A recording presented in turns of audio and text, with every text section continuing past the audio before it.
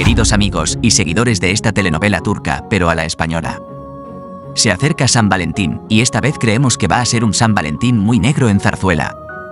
Casa Real, como muchos ya de ustedes sabrán, ha iniciado una campaña de blanqueamiento para ayudar a Felipe y Leticia a superar su gran crisis. ¿Tendrá Jaime del Burgo algún regalito envenenado preparado para ellos este próximo San Valentín? Febrero, el mes más corto del año, pero el que guarda mayores sorpresas. Este fin de semana es carnaval y la próxima semana uno de los días más importantes para los enamorados. Este mes adquiere un matiz especial para numerosas parejas, ya que el día 14 se celebra San Valentín, una festividad dedicada al amor. En esta jornada, muchas parejas intercambian gestos de cariño como flores, chocolates o comparten una cena romántica en algún restaurante. Sin embargo, para Felipe y Leticia, una pareja que alguna vez compartió estas tradiciones, el 14 de febrero ha perdido su encanto desde hace bastante tiempo. La relación entre Felipe y Leticia ha experimentado altibajos notables, siendo evidente que desde 2013 han atravesado momentos difíciles. Durante esa etapa enfrentaron su crisis más significativa, caracterizada por frecuentes discusiones que llevaron a la decisión de dormir en habitaciones separadas. ¿Felipe y Leticia dormían en habitaciones separadas? ¿Cómo sabes este dato? Según acaba de publicar La Vieja del Visillo, es decir, este diario digital catalán, el cual sigue al parecer de cerca la vida de Casa Real, afirman que Leticia y Felipe durante esa etapa enfrentaron su crisis más significativa, caracterizada por frecuentes discusiones que llevaron a la decisión de dormir en habitaciones separadas. Bien, te sigo explicando lo que han publicado esta vez porque no tiene desperdicio.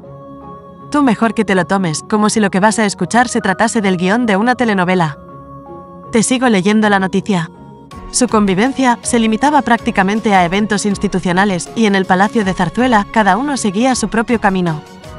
Aunque en algún momento los medios especularon con la posibilidad de un divorcio, esta opción nunca se materializó, probablemente para evitar un escándalo en la monarquía española. En cambio, optaron por la separación de hecho, siguiendo el ejemplo de Juan Carlos y Sofía. Recientemente, unas declaraciones de Jaime del Burgo han avivado la llama de los rumores al sugerir una supuesta infidelidad de la reina con un abogado durante años. Esta acusación ha dañado la imagen de ambos, especialmente la de Leticia, quien ahora se enfrenta a la etiqueta de mujer adúltera. Existe una sospecha de que alguien está orquestando una campaña de desprestigio con el objetivo de socavar la monarquía, y se sugiere que el ex de Telma Ortiz podría tener motivaciones ocultas. Parece que Jaime del Burgo no piensa dejar a Felipe y Leticia tranquilos ni tan siquiera en el día de San Valentín. El abogado planea romper su silencio de nuevo con más información jugosa sobre su pasado con la reina. Está dispuesto a acabar con el matrimonio para romper la corona, su verdadera intención. Hace unas semanas confirmó que preparaba un libro con todas las pruebas y se centraría en su historia de amor con Leticia. Este mismo miércoles podría dar más información que complicase el romántico Día de los Reyes en Barcelona. Así es.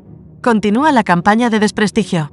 Además, avisa que continúa con su libro y la fecha marcada en rojo para su publicación podría ser el aniversario de boda de los monarcas el próximo 4 de mayo. ¿No te parece a ti que Zarzuela ha iniciado una campaña de blanqueamiento? Pues no sé qué decirte. Ante este contexto, la Casa Real está en una lucha activa contra la campaña de desprestigio, lanzando una contraofensiva para desmentir los rumores de ruptura. Hace unas semanas, a pesar de reconocer que la relación de los reyes no atraviesa su mejor momento, Zarzuela organizó una salida al cine, reviviendo uno de los planes que solían disfrutar en los tiempos más enamorados. Asimismo, para el próximo 14 de febrero, han programado una aparición conjunta en Barcelona, cumpliendo con diversos compromisos oficiales en su agenda institucional. Felipe participará en un acto por la mañana, mientras que por la tarde se reunirá con su esposa en el siguiente compromiso. Así que, este año es particularmente significativo para la pareja, ya que conmemoran dos décadas desde su boda y una década del reinado de Felipe. Aunque hay razones para celebrar, los expertos en la Casa Real advierten que la relación no está en su mejor momento, generando especulaciones sobre el futuro de la pareja real. Ah, pues tal vez este San Valentín lo celebren acudiendo nuevamente al cine. Pues tal vez lo hagan. Pues bien, estas son las últimas noticias que les hemos querido contar y así se lo hemos narrado. San Valentín Negro en Zarzuela con el regalo de Jaime del Burgo para los Reyes. Casa Real ha iniciado una campaña de blanqueamiento para ayudar a Felipe y Leticia a superar su gran crisis.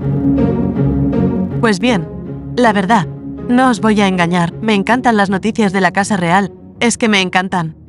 Antes de que te marches del canal, recuerda suscribirte y dejarnos un like para no perderte más vídeos como este. Ah, y una cosa, que no se me olvide dejarnos un comentario con vuestra opinión. Ahora sí, me despido de todos vosotros. Un saludo y un besito. Nos vemos en el próximo vídeo. Ser buenos. Que viva el rey y la madre que los parió a todos. Ahí queda eso. Lo siento mucho. Me he equivocado y no volverá a ocurrir.